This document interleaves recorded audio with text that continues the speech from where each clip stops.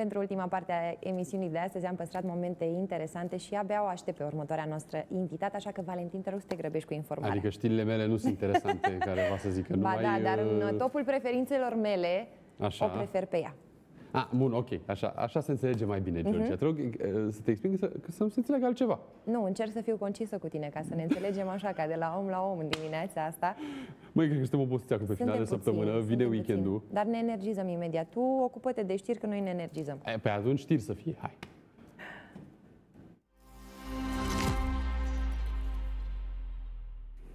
Migrația externă și raportul foarte dezechilibrat dintre natalitate și mortalitate fac ca populația României să scadă dramatic. Specialiștii în statistică anunță că problemele demografice amenință stabilitatea țării. Declinul demografic se accentuează de la an la an în țara noastră. Diferența dintre numărul anual de decese și cel al nou-născuților a crescut alarmant. Dacă în 1970 România înregistra o rată a natalității de 21,1%, în 1980 aceasta scădea la 18%. Zece ani mai târziu, scăderea se resimțea și mai mult, ajungând la un procent de 13,6%. În 2020, natalitatea s-a prăbușit, iar în dreptul său este o rată de doar 8%. Dacă vorbim de decese, acestea sunt la polul opus și au crescut considerabil. În 1970, rata mortalității era de 9,5%, iar în 2020 aceasta a ajuns la 13,4%. Specialiștii de la Institutul Național de Statistică spun că aceasta este și una dintre principalele cauze ale scăderii populației. La ea se adaugă și migrația externă, cea care a explodat în 1990 după momentul Revoluției, dar și în 2008, la un an după ce România a devenit stat membru al Uniunii Europene. Scăderea cea mai mare este generată de sporul natural negativ și factorul, acest fenomen este deja mai preocupant decât cel din tâi, pentru că dacă în materie de stopare a migrației poți lua o serie de măsuri administrative, politice, economice, care să stopeze fenomenul, atunci când este vorba de modificarea unui trend natural negativ, orice măsuri, chiar dacă pot conduce la rezultate, au nevoie de foarte mult timp pentru a se vedea rodul acestora. Toate aceste cifre sunt confirmate de cetățenii țării, mai ales de către tineri care spun că s-au gândit și își doresc să se stabilească într-o altă țară. Unii dintre ei se gândesc chiar ca în cel mai scurt timp să părăsească România. Urmează în august. Am oportunitatea să merg la o facultate în străinătate în Olanda. Nu m-am gândit dacă să rămân în Olanda, dar mă gândesc că ori în Olanda, ori în altă țară să mă întorc aici, șansele nu sunt foarte mari. Când în străinătate studenții primesc bani pentru a merge să studieze, în schimb aici taxele au crescut destul de mult, iar traiul de viață pentru studenți este din ce în ce mai greu. Conform statisticilor, nici viitorul nu arată mai bine din acest punct de vedere. În mai puțin de un secol, țara noastră ar urma să aibă cu 6,6 milioane de locuitori mai puțin. La fel ca și în prezent, cauzele principale ale depopulării ar fi scăderea naturală și migrația externă. Dacă ne raportăm numai la câți români pleacă în străinătate pentru un trai mai bun, numărul acestora ajunge la 80.000 în fiecare an. Inteligența artificială este într-o continuă dezvoltare peste tot în lume, iar roboții reprezintă o modalitate creativă de a veni în ajutorul oamenilor. Și în țara noastră sunt o mulțime de pasionați de robotică ce au reușit să creeze sisteme fascinante cu beneficii în diferite domenii, printre care sustenabilitate, calitatea aerului sau chiar securitate. În premieră în România, Senatul Științific al Fundației Dan Voiculescu pentru Dezvoltarea României a organizat un concurs pentru pasionații de robotică. Adolescenți de toate vârstele din toată țara au avut astfel ocazia să își facă cunoscută ingeniozitatea și să povestească despre cum au ajuns să creeze propria invenție. Știm cu toții că avem premii în afară care ne validează uh, performanța tinerilor și ne-am dorit în primul rând prin acest concurs să-i cunoaștem să-i aducem către, uh, către public. Concurenții au adus în fața juriului creații cu funcții variate, de la protejarea mediului de deșeuri, la posibilitatea de a detecta nivelul ridicat de poluare, până la un robot autonom pentru colectarea mingiilor de tenis. O stație de monitorizare a calității aerului care poate să studieze dispersia poluanților în atmosferă și așa putem combata emisiile care ne îngreunează atmosfera, emisiile nocive și uh, încălzirea globală în general. Am venit astăzi cu, cu roboțelul Ceramic Clean, care are ca scop uh, colectarea și stocarea deșeurilor din orașul nostru. Are o funcție de traducere în timp real a unei conversații, astfel încât o persoanele, dacă două persoane vorbesc și nu cunosc o limbă comună, pot uh, purta o conversație. Marele câștigător al concursului a fost desemnat Vlad, cel al cărui robot are funcții de a ajuta oamenii în situații de risc. Premiul acestuia este finanțarea totală a următorului proiect pe care câștigătorul îl va realiza. Este o platformă universală de căutare și salvare sau de luat măsurători în medii în care omul nu poate să ajungă. Intitulat Looking for the New Shaky, după numele primului robot pe care omul a reușit să-l creeze în anii 60, concursul își propune să își păstreze tradiția în fiecare an de acum încolo.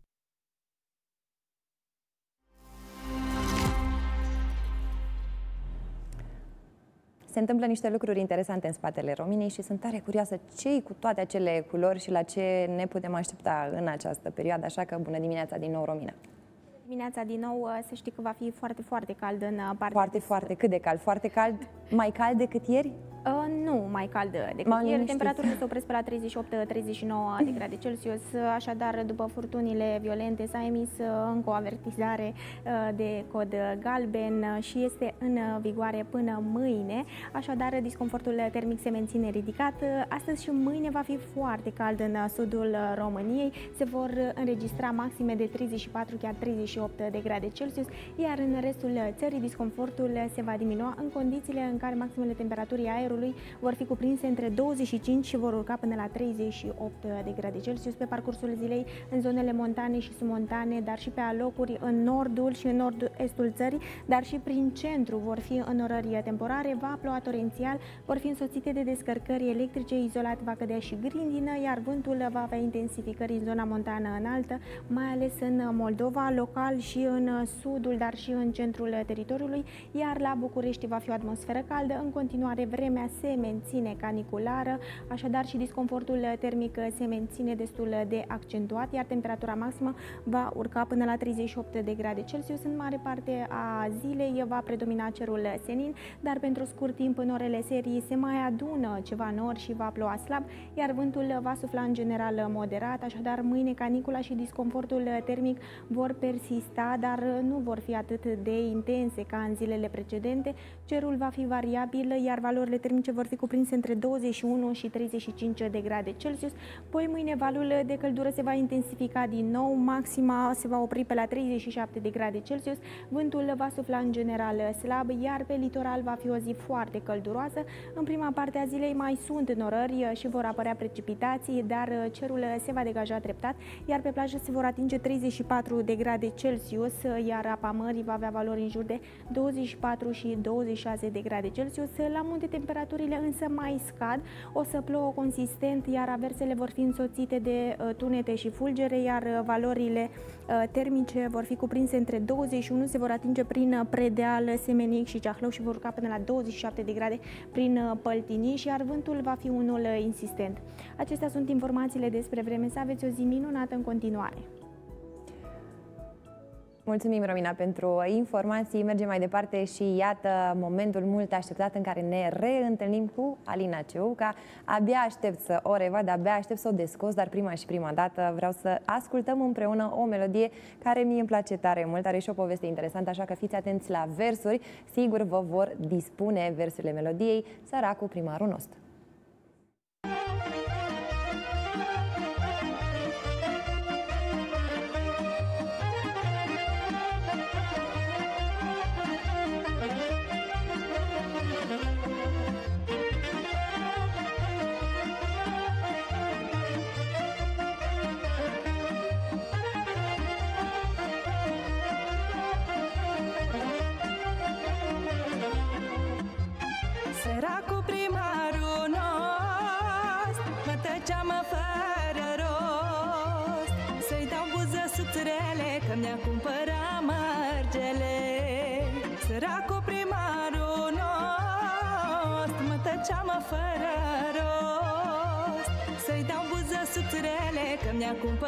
Cumpărat mărgele Mi-a luat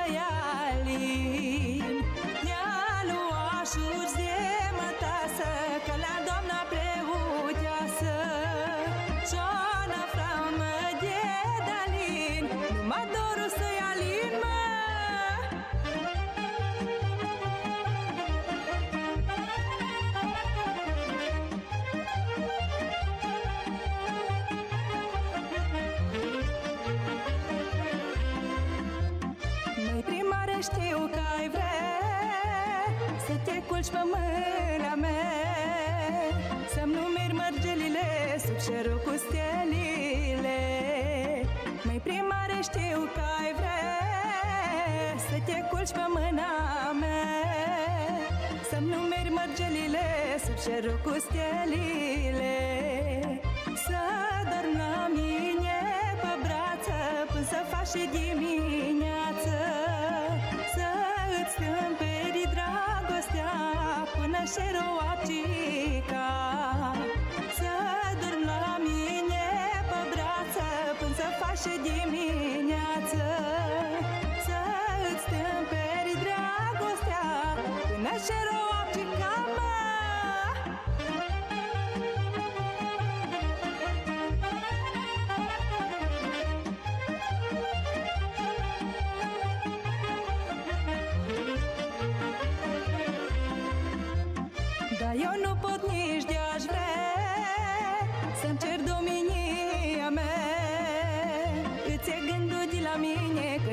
nu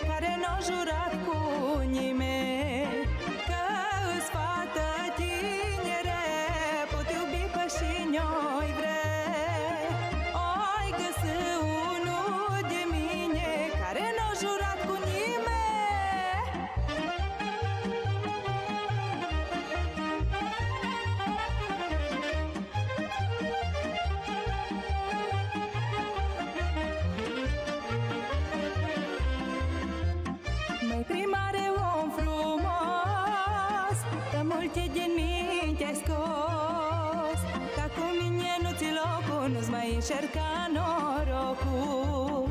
Mai primare om frumos Că multe din minte ai scos. Dar cu mine nu ți locul Nu-ți mai încerca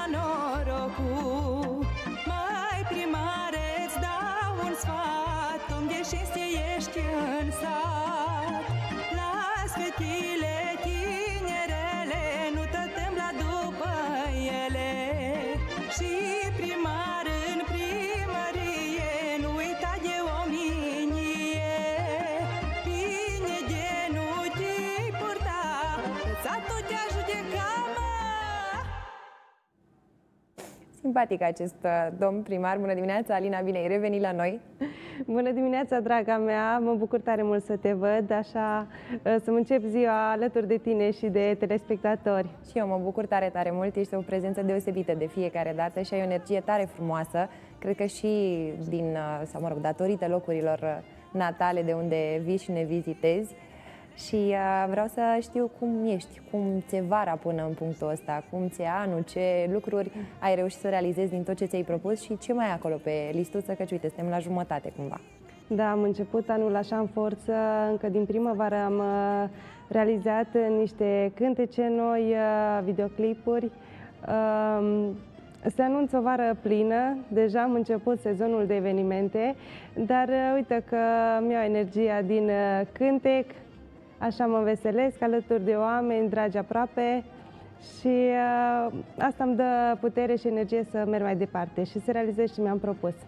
Cum gestionezi toate drumurile pe care le ai de făcut? Pentru că bănuiesc că nu e lucru ușor să te rupi weekend de weekend de familie, să mergi să ai evenimente, cu toate că vii să aduci foarte multă bucurie. Tu cum îți reîncarci bateriile după? Acasă mi le încarc uh, alături de micuțul meu Alex, care se uită la noi și îl pup cu tot dragul. Abia aștept să ajung acasă la el și la familia mea. Uh, el mă încarcă de energie pozitivă, uh, îmi iau energie atunci când cânt pricezne la biserici, atunci mă încarcă și cumva reușesc să trec peste orice greutate. Și uite așa, când merg la nunți, la botezuri, unde uh, toată lumea e veselă, toată lumea se petrece, nu, nu am cum nu să stau eu supărată sau nu mai simt nicio oboseală. Îl salutăm pe Alex, l-am văzut și în videoclip mai devreme. Foarte frumos costumul pe care îl avea și aș vrea să-mi spui câte ceva despre acea pălărie cu pene de pământ pe care o avea pe cap. E tradițională din zona voastră? Da, sigur, clopul de păun este un element din costumul popular specific uh, țării Năsăudului. Uh, Alex este foarte mândru atunci când îl poartă. Vreau să spun că atât de mult îi place să fie îmbrăcat în costum popular, încât după ce am filmat videoclipul, uh, seara nu a vrut să se mai schimbe. Zicea că el doarme așa în costum, atât de mult îi place. Pentru mine e o mare bucurie când îl văd așa. Am început în ultimul timp să-l duc tot mai mult cu mine pe la evenimente, la spectacole. Se îmbracă și el în costum așa și îi place. Văd că începutul e bun, e sigur. V-ați uh, gândit împreună de ce nu să își completeze studiile în domeniul muzical, să facă un instrument, la trage ceva în zona asta? Da, el are o ureche muzicală foarte bine dezvoltată, are voce, deci e talentat și uh, vreau să-l duc uh, să facă un instrument, să învețe. Dar am zis că acum din toamnă l-am mai lăsat puțin, mai acum vacanță, da, să mai copilărească, dar merită să facă ceva pentru că e talentat. Vreau să îmi povestești puțin cum sunt verile voastre și cum crește Alex, pentru că de cel mai multe ori ne întrebăm cât din tradiție va mai rămâne pentru generațiile următoare și vreau să știu cât de mult îi transmis tu lui mai departe, astfel încât să nu se piardă. Da, păi el crescând acolo la noi în familie, așa a crescut cu tradițiile pentru că mama coase costume populare, când sunt pe acasă o mai ajut și eu ascultăm muzică populară, cântăm uh, și cumva el uh, e obișnuit deja cu lucrurile astea, îi și plac uh, și cu siguranță atât timp cât el și mai sunt copii acolo în zonă care cântă frumos, nu o să se piardă tradițiile, din moment ce sunt susținuți. Din toamnă încolo, ce proiecte mai ai? Îți iei și tu o vacanță bine meritată acum pe perioada verii? Fugiți un pic la mare măcar? Vara asta nu cred că reușim pentru că suntem foarte prinși cu evenimente uh, în weekenduri. În timpul săptămânii o ajut pe mama la treabă, la costume și uh, vara aceasta nu cred că o să reușim să ajungem de cât în toamnă sau în iarnă. Poate mergem undeva unde e cald. și uh, până atunci... Uh, multă muncă. Multă muncă. După muncă și răsplată. și înțeleg că mai ai o melodie pe care o pregătești pentru perioada de toamnă, nu-i așa? Așa e, tocmai am înregistrat un cântec foarte frumos, satiric, abia aștept să vin și aici la voi cu el. Eh, dar urmează să-i filmez un videoclip frumos, după care o să vin să-l prezint. Până atunci, cei care doresc să fie la curent cu tot ce fac eu, cu toate noutățile, să mă urmărească pe paginile de socializare. Facebook, să... Instagram, acolo mă găsesc. Alina Ceuca, simplu, peste tot. Alina Ceuca, da. Vreau să știu cum îți alegi tu costumele populare în diminețile în care știi că trebuie să pleci undeva și să îmbraci uh, portul național. Bănuiesc că există o zestre așa bogată și că e mai dificil Așa să, e. să te uiți în dulap și să alegi. Așa e, am foarte, foarte multe costume populare, cred că câteva sute și nu spun ce greu mi să aleg ceva când merg la un eveniment, foarte greu mă decid.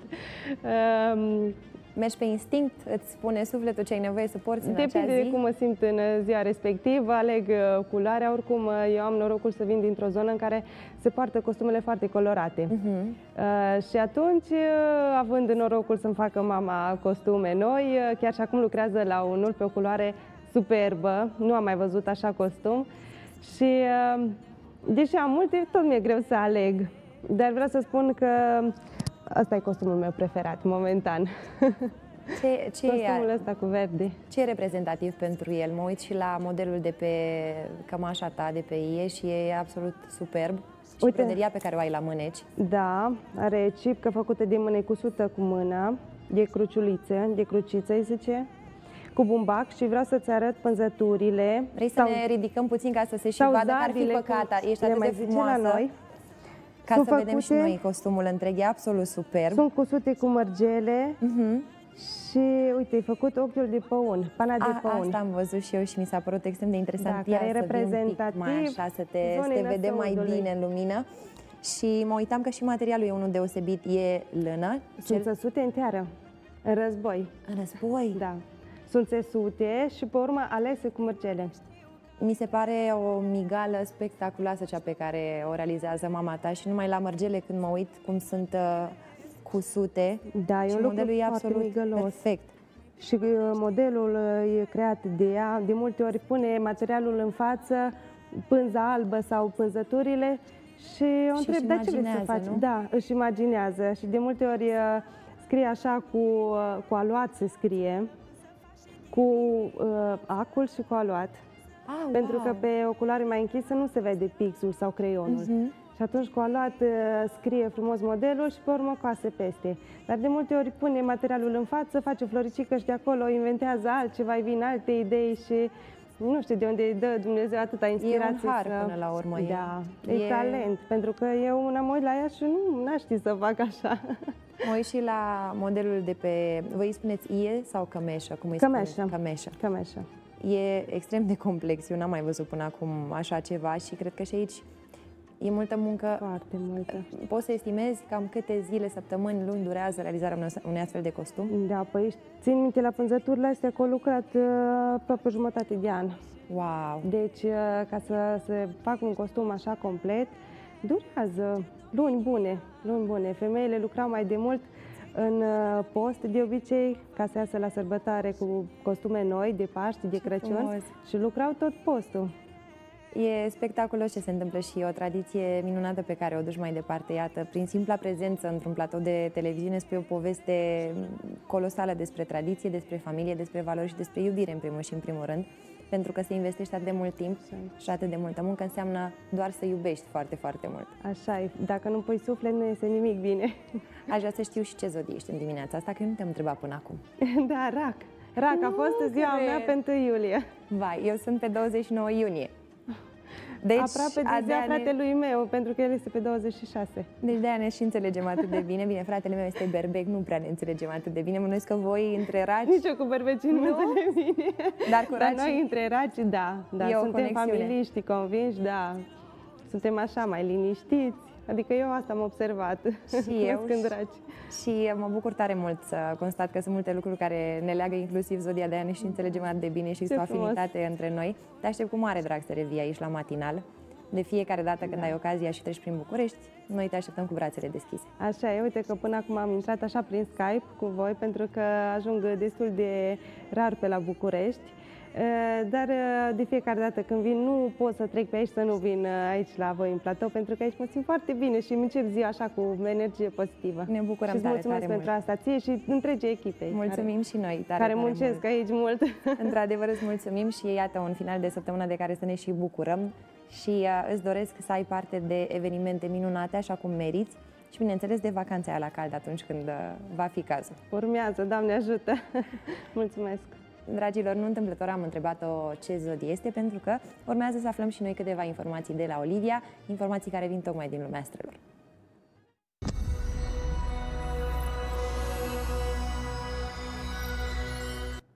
Bună dimineața! Berbecii se pregătesc de weekend, iar pentru ei această pregătire înseamnă bagaje și deplasare. Sfârșitul de săptămână este o ocazie bună pentru o nouă aventură.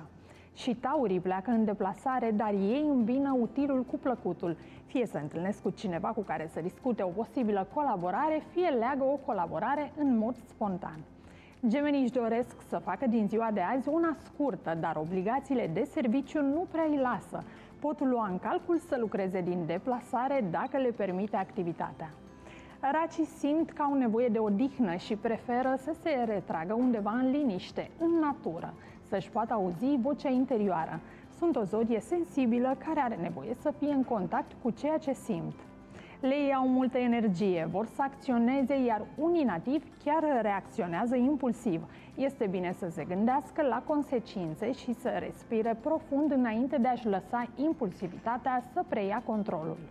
Fecioarele resimt o oboseală mentală, au stări de confuzie care nu sunt altceva decât eliberări de niște poveri interioare vechi.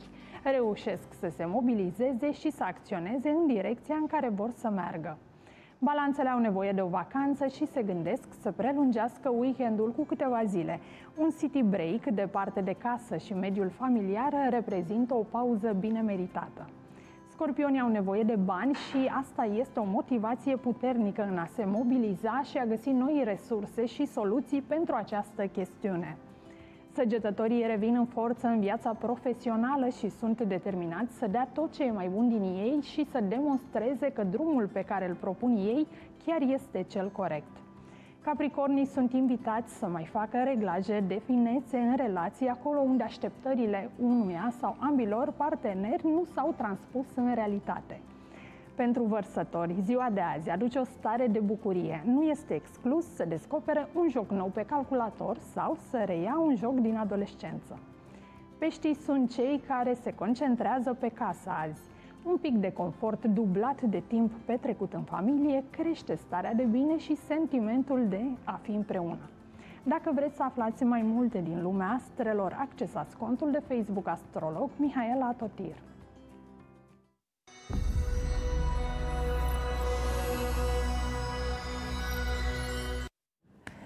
Facem un ultim pas în această săptămână și, bineînțeles, subiectul e unul foarte important pentru că ne ajută să ne protejăm, să ne echilibrăm.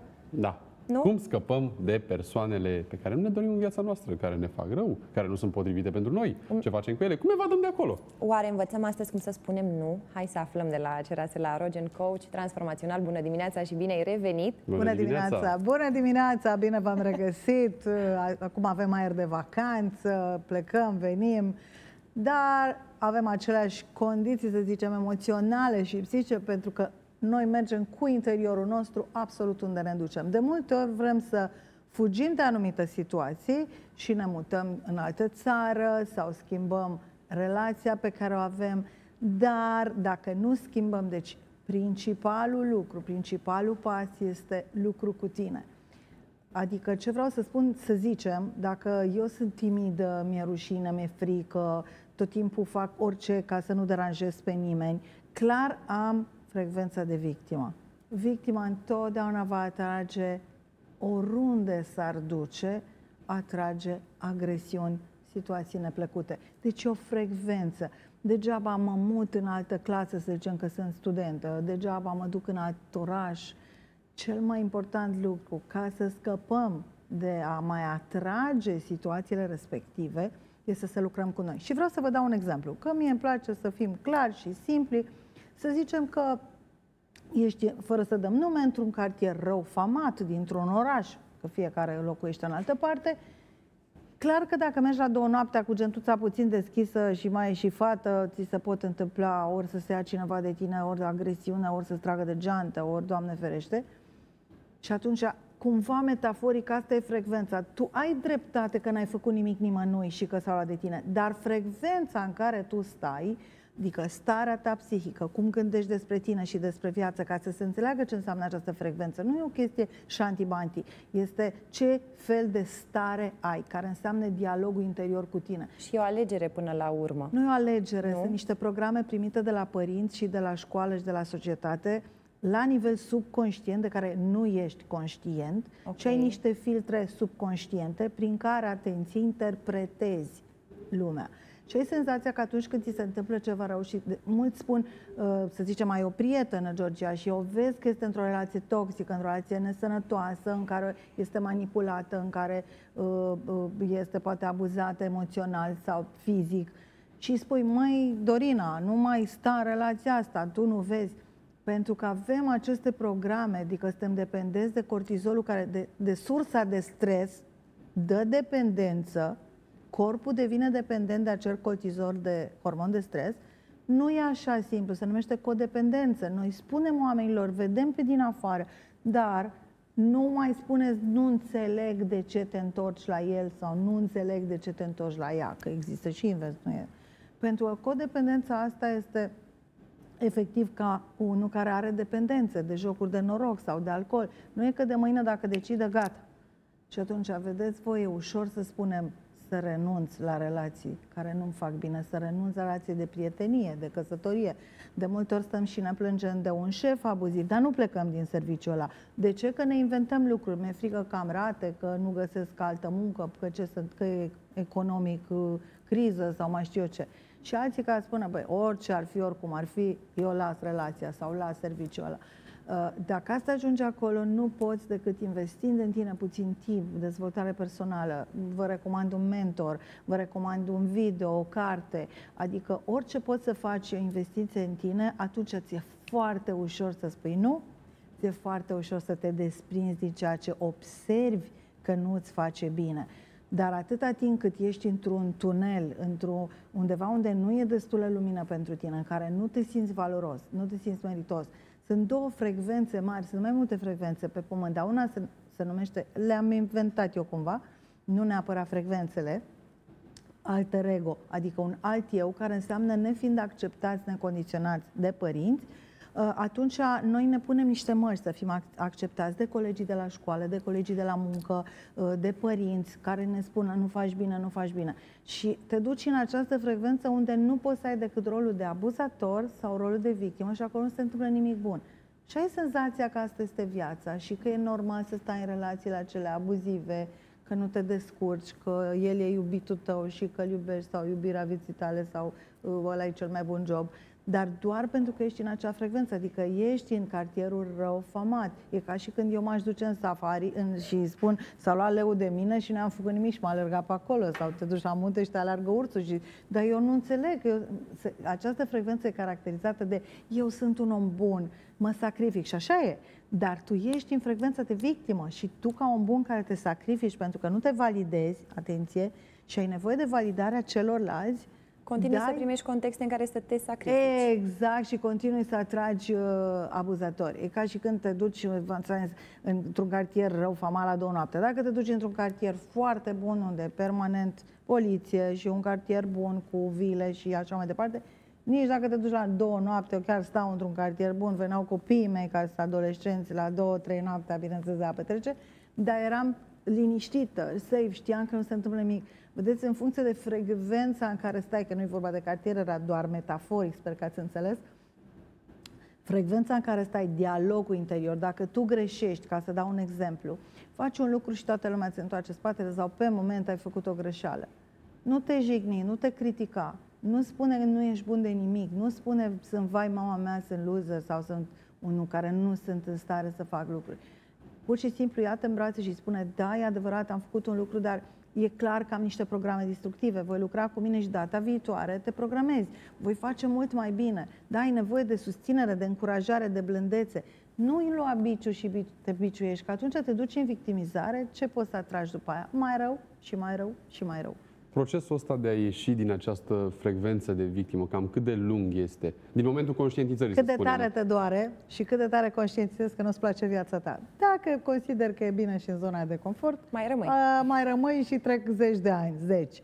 Dacă te doare și spui nu mai pot așa, mie mi s-a întâmplat fix de clicul ăsta, atunci te duci în higher self, care înseamnă sinele superior și acolo e caracterizat de o altă frază, să zic așa. Măi, n-am făcut nimic pentru George și uite, vrea să colaboreze cu mine, mă invită la emisiunea, dar eu n-am făcut nimic. Da, pentru că acolo ești într-o altă frecvență unde se întâmplă miracole, unde oameni vor să colaboreze cu tine, ți-ar da și casa de sub ei numai să investească în ideea ta și așa mai departe. Și așa cum spunea acolo, da, eu mă sacrific și dau orice și lumea îmi dă în cap, Aici funcționăm diferit, dar înseamnă că nu mai ești om bun care vrea să fie validat de ceilalți, ci ești un om valoros, indiferent unde te afli și câți bani câștigi, te simți bine în pielea ta. Și ești un fel de cine mă place celebrez, cine nu mă place celebrez, e o selecție naturală. Și te simți bine cum ești. Nu te simți mereu inferior, nu te simți mereu că alții pe piedestal. Că eu întreb toți clienții mei la cabinet, mai tu ai senzația că dacă tu ai dispărea, te mai manifesti prin cineva singurul și unică și cea mai prețioasă persoană în universul ăsta, prin care te poți experimenta ce înseamnă călătoria, viața, Este persoana ta. Nu poate fi cineva mai important decât tine. N-are cum să fie mai prețios, chiar dacă ți se pare că, nu știu, președintele Americii, da? Tu nu simți prin el, nu te experimentezi, nu ai bucurie, nu ai supărare, nu ai experiență. Eu sunt convinsă asta ca o glumă, că atunci când suntem suflete ne batem să venim aici să ne experimentăm în toate culorile, de la durere, la tristețe, la bucurie, la a ne îmbrăca, la iubi, la ne supăra. Adică sunt toate, sunt experiențe care unite înseamnă această magie viață care ai ocazia să evoluezi ca și spirit, ai ocazia să evoluezi ca ființă umană, să devii mai înțelept. Și asta nu se poate decât prin provocări. Uh, înainte a fost bacul și fica mea cea mică a avut bacalaureatul, că era clasa 12. Și m-a zis, oh, mama, abia aștept să scap de bac. Și am spus, mama, ai jucat vreodată vreun joc pe computer? Da. Ce faci când treci un nivel? Vine unul și mai și greu. și ai trecut nivelul ăla și te bucuri. Ce crezi?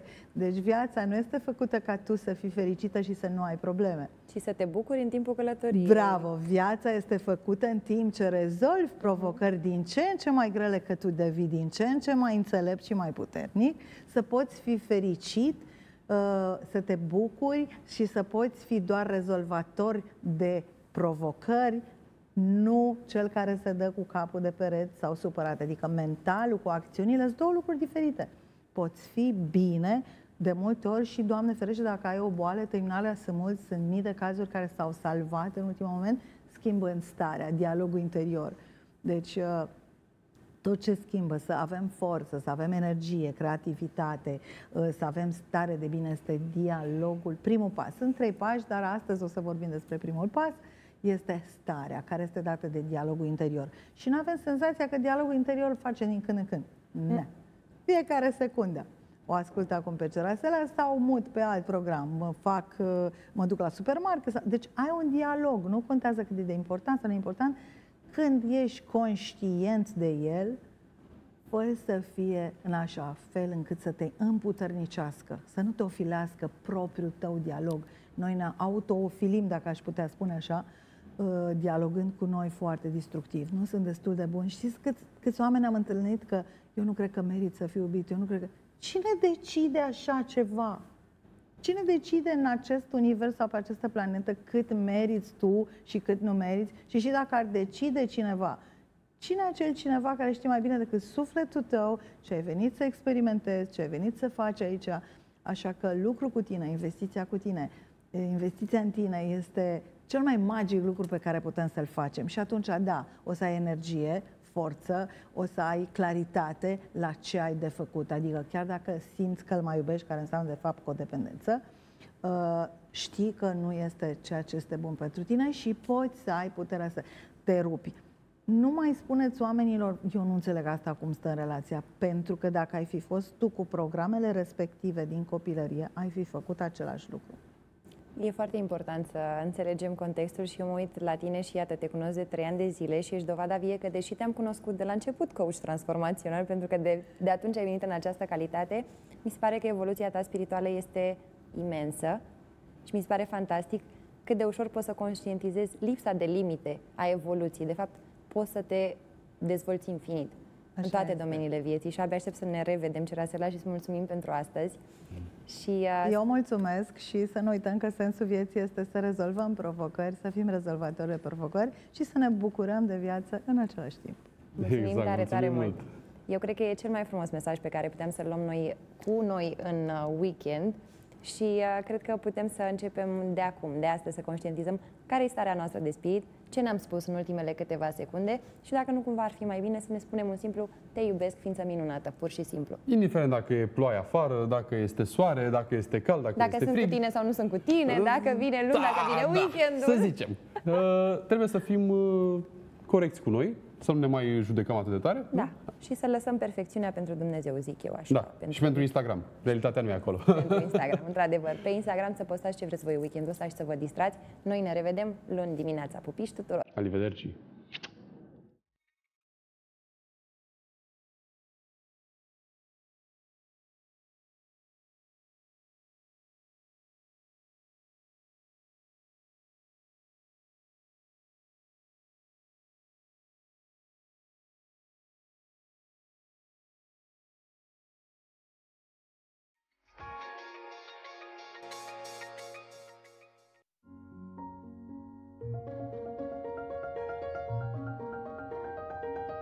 Acest program este susținut de Aqua Carpatica, gustul purității.